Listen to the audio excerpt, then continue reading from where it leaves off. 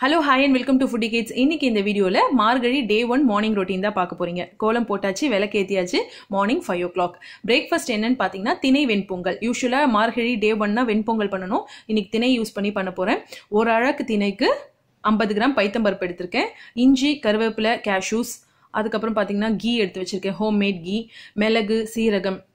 First இந்த ஒரு அழகு திணையை ஒரு பாத்திரத்தில் போட்டுக்கோங்க. நெக்ஸ்ட்டு அது கூட ஐம்பது கிராம் பைத்தம்பருப்பு ஒரு அழாக் மீன்ஸ் ஹார்ட்லி உங்களுக்கு டூ ஹண்ட்ரட் கிராம் திணை. டூ ஹண்ட்ரட் கிராம் திணைக்கு ஃபிஃப்டி கிராம்ஸ் பைத்தம்பருப்பு இதை வாஷ் பண்ணி நல்லா ஆஃப் அன் ஹவர் ஊறினதுக்கப்புறமா திணையும் பருப்பும் வந்து குக்கரில் வச்சுருக்கேன். ஒரு மூணு விசில் சவுண்ட் கொடுக்க போகிறோம் எவ்வளோ தண்ணி எடுத்திருக்கேன் அப்படின்னு பார்த்தீங்கன்னா ஒன்னே ஹால் அழாக்கு இல்லையா பருப்பும் திணையும் சேர்ந்து ஒன்னே ஹால் அழாக்கு நாலு நாலு டம்ளர் தண்ணி எடுத்திருக்கேன். மூணு குக்கர் சவுண்ட் விட போகிறோம்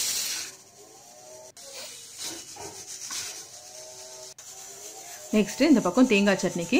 தேங்காய் இஞ்சி உடச்ச கடலை ரெண்டே ரெண்டு பச்சை மிளகா தேங்காய் சட்னிக்கு.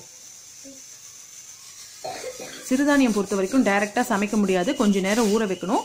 ஸோ மஸ்ட்டு மூணு சவுண்டு விட்டுட்டேன். இப்போ எந்த அளவுக்கு வெந்திருக்கு அப்படின்னு சொல்லிட்டு பார்க்கலாம்.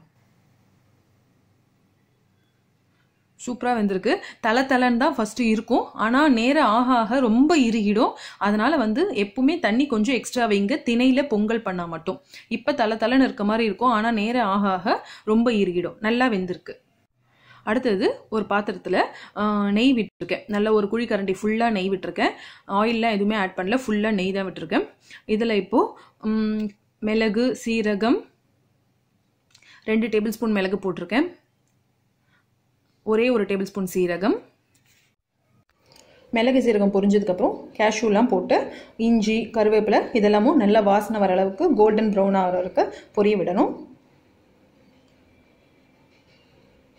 நெய் எண்ணெய் கலந்து பண்ணுறதோட வெறும் நெய்யில் பண்ணிங்கனாலே ரொம்ப டேஸ்ட்டாக இருக்கும் பொங்கல் ஹெல்த்தியானதும் கூட. டயட்டில் இருக்கவங்களும் தாராளமாக இந்த பொங்கல் மார்னிங் பிரேக்ஃபாஸ்ட்க்கு ஒரு கப்பு சாப்பிட்லாம். நெக்ஸ்ட் வந்து பெருங்காய பொடி போட்டிருக்கேன்.